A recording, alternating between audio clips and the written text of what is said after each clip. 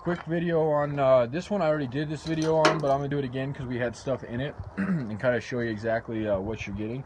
And then I'm also gonna do a product video on the other stuff that's uh, that's not included in this sale, but will be listed as well. So if you're watching this video and you're waiting for the let's say fenders or gas tank or something, just wait a little bit and it'll be uh, along in this video. So anyway, 51 Willys pickup truck bed. I don't know the interchange, meaning the years that they go for. Um, but it's actually a fairly good condition. It does have some spots on it, but for being as old as it is and is, is fairly straight, if, if not almost perfectly straight, uh, it does have a little bit of uh, rust um, in it, and I'll show you all the areas so you know exactly what you're getting um, and uh, whatnot. So just kind of going down the bottom here, you can see the mounts and the posts, and that kind of rail there is all in good shape. The back, the bed is, um, or the back where the backs up against your cab is pretty good. It's got a couple dings or something where maybe something was in the bed itself. And then the rail going down the side here um, is in pretty good shape, It's nice and straight. There's a ding here, um, a little bit of a uh, tear or in the metal there. Um, th most of this stuff I think somebody could pretty much easily fix. Um, but you know, nonetheless, I think it's important to see it. So, and then going down the side, um, they had something I don't know. There's a light or something came out there. Um, what you see is exactly what you get. This is uh, the only bed we have for one of these things. And they're pretty rare. And three acres of Jeep, nothing but Jeep parts out here. Um, this is all I got for this era, uh, besides the flat fender CJ we got over there. So that area right there, um, that's pretty much only cancer in the bed. And it's uh, almost not even really rust. I mean, it is rust, obviously, but uh, but it's almost just like where the metal's kind of worn down through. Um, so it's the extent of it is about about there is where it starts getting solid again, where it's most bed.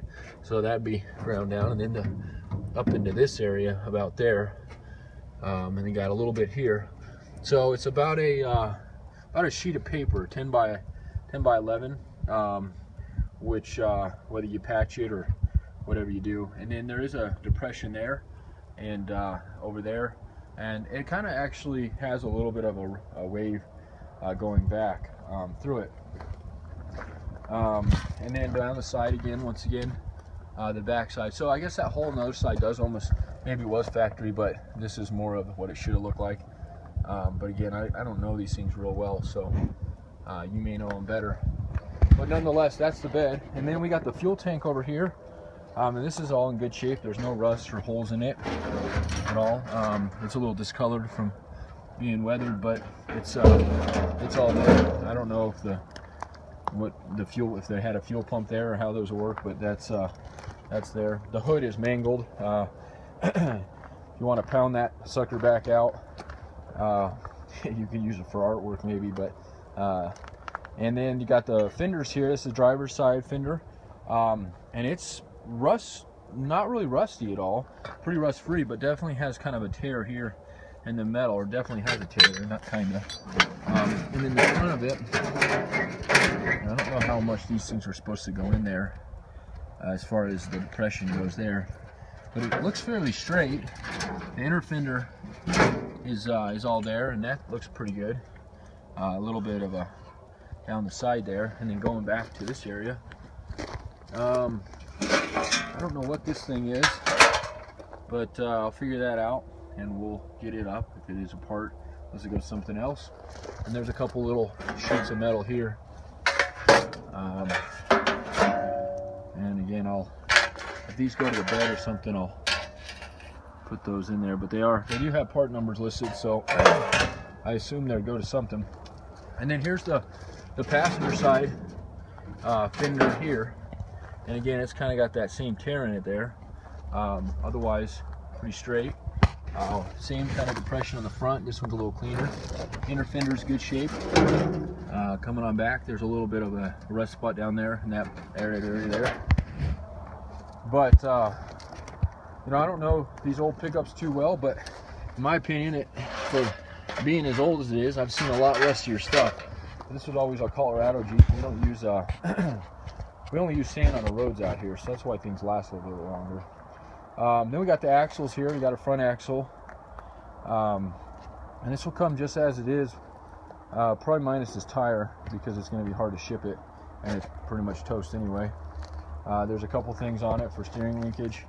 I'll leave that stuff there. The frame obviously is separate. Uh, that's available too. I have a video up of that. Um, then you got the rear axle here. And I'm not sure in the gears on these things. Um, and this is not one I can really open up to verify the gears. But I don't know if they came with many options in these years. But uh, good news is it spins, which is actually spins pretty freely, pretty pretty nice. So you got the yoke spinning there, and then let's go over here and see this guy spin. That one spins too. Got that going on there. So all that looks good. And we got the cab, of course, which again I've already listed, but you've seen this ad and you want to see it. Um, I'm not going to cut anything on this cab.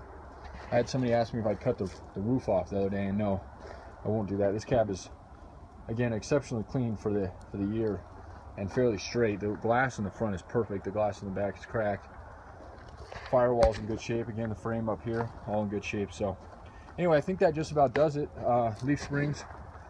Um, we'll list these things as well. I'll probably just list these as a set. Um, but uh, there's something else that I didn't see that I didn't get listed and you're curious about it, uh, feel free to give me a holler or uh, email or something. Uh, 720-987-8772. And just to give you a quick, I, these are some of the older pickups we have. This is the oldest. Um, there's some J10s, uh, Comanche. You got a couple Comanches. Obviously the Wagoneers. Depending on what you're into, those parts uh, might uh, be something of interest to you. And then uh, there's a lot of Cherokees out through here, and we have a lot of those parts obviously as well. But usually people, the old ones, like the old stuff. So um, here's the rest of our J10s. And uh, we do have a few engines, axles, stuff like that remaining around that are inside. Um, but then I want to show you one more. We have some old CJs over here. If it is something you're looking, you know, something older. And of course, uh, in that era is going to be this flat fender over here. So, and uh, it doesn't have an engine anymore, uh, but it's pretty much complete. The body, windshield frame, it, it, needs some work obviously, and I have this one up in another listing. Um, probably won't part this one, but you know, we might, just depends. I mean, the tubs are worth some money on them, so, and we are in the parts business. Um, we got some good tailgates, Willys tailgates sitting around too, so. 303-666-9020, uh, and we're about to get a big old blizzard snowstorm tonight, so trying to get everything out of the out of the weather. Uh, anyway, I appreciate you taking the time, and we'll uh, we'll be in contact. Thanks.